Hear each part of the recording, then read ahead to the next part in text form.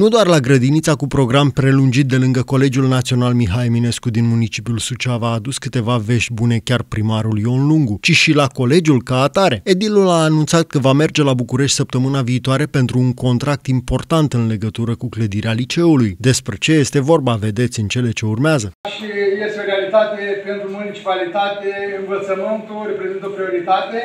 nu degeaba am luat prima diplomă de excelență în educație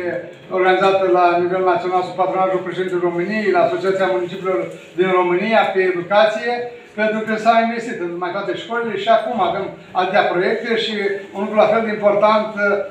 un, pentru Colegiul Național Mihai Eminescu, luni voi semna la București contractul de aproximativ 2 milioane de euro pentru reabilitarea clădirii centrale. Clădirea, da, puteți aplauda că merită, merită merge, nu merge la pauză, merge clădirea. Da, vom face o clădire modernă, cu sistem de încălzire modern, cu uh, pompi de, de, de circulare uh, apă-sol, cu uh, panouri fotovoltaice, un proiect în care vine schimbat toate echipamentele sanitare de iluminat,